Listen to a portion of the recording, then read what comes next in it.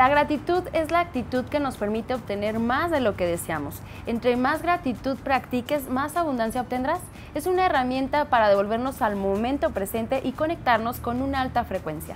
Entre más agradecido te sientas por vivir y por lo bueno que existe en nosotros, más cosas buenas obtendremos. Por eso, cada vez que te sientas en desaliento, repite mentalmente la palabra gracias y haz que salga de tu corazón, llénate de ella y de sus bellas sensaciones.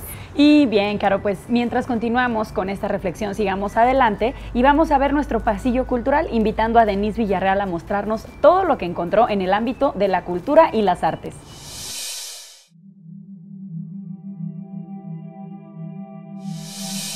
Dentro del Estado existen diversas etnias indígenas que representan las costumbres de nuestros antepasados.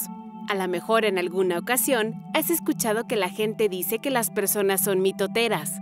Si ese es el caso, te vamos a explicar de dónde viene esta definición. La palabra mitote es un término de la cultura popular mexicana, utilizado para designar un problema, tumulto o vocerío. También se usa para hacer referencia a una fiesta.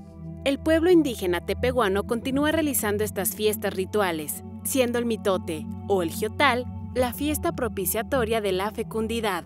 Este ritual es de gran importancia agrícola. Está relacionado con la lluvia y la madre tierra. Con ella se refuerzan los lazos familiares, a través de la danza que se lleva a cabo alrededor del fuego durante la noche de vigilia. Este es un rito de iniciación para los adolescentes, curanderos, músicos y reproducción de los sistemas internos de autoridades mediante el canto y el sonido del arco instrumento de origen prehispánico que se toca solo en situaciones de rituales específicos.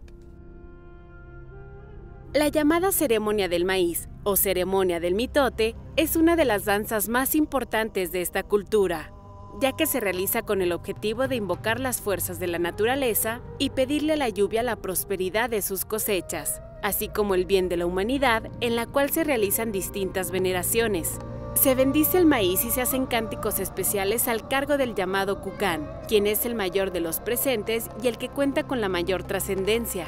En los meses de mayo, septiembre y noviembre es cuando todos los integrantes de las familias tepehuanas se unen en el patio mayor de cada comunidad para esta especial ceremonia. Así como esta celebración, existen otras que nos dan identidad, la cultura duranguense es muy amplia y si nos acercamos a ella conoceremos más aspectos, palabras, costumbres y celebraciones que aún usamos a veces sin querer, pero que conjuntan el orgullo de ser duranguense.